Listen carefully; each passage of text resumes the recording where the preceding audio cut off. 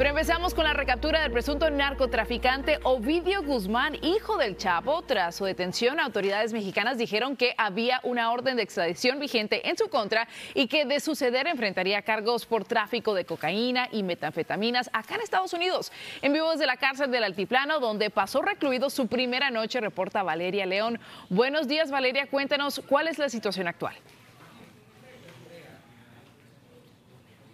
Así es, Nicole, muy buenos días. Pues aquí en, la en el penal de máxima seguridad del Altiplano en el Estado de México, Ovidio Guzmán pasó su primera noche. Esto tras su recaptura que suscitó hechos violentos en Sinaloa tal como ocurrió en 2019. Sin embargo, en esta ocasión sí se concretó, aunque lamentablemente no fue con un saldo blanco. La cifra de muertos por este operativo ya incrementó a siete personas fallecidas, entre ellas un coronel de la Guardia Nacional. Y es que las labores de inteligencia que hizo el gobierno mexicano para poder dar finalmente con esta detención del hijo del Chapo eh, duraron hasta seis meses.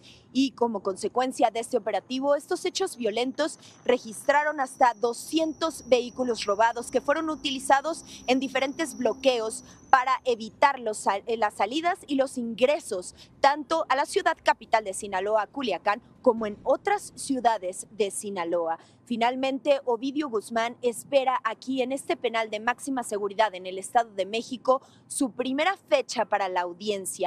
Y aunque, como bien lo dices, eh, fue detenido con una orden de extradición a Estados Unidos por diferentes delitos de narcotráfico, este proceso no se hará de manera expedita. Es decir, tendrá que enfrentar primero un proceso legal en México para después definir su extradición a Estados Unidos. Nicole. Y veíamos ahí también el terror que vivían los residentes de esa zona, también un avión de Aeroméxico que fue atacado a balazos. Gracias, Valeria León.